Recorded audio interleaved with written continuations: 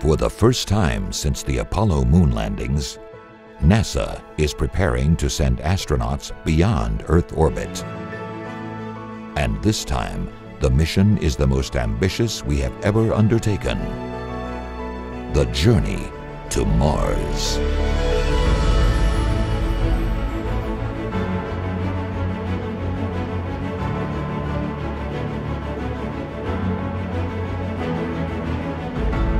Carrying out this journey will require bringing together the best of our efforts, from robotic probes to technology development to astronauts in orbit to robust new space vehicles.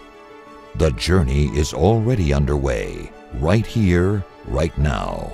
Astronauts aboard the International Space Station are learning more about living and working in space for long periods of time. Vital information for the challenging trip to Mars. Transportation to and from this station will be provided by our American commercial cargo and crew partners. Next, using the Orion crew vehicle and the powerful Space Launch System rocket, NASA will move into the proving ground of space, around and beyond the Moon. Here, we will carry out increasingly ambitious missions to test out new systems and capabilities needed to reach Mars, like deep space habitats and advanced propulsion systems.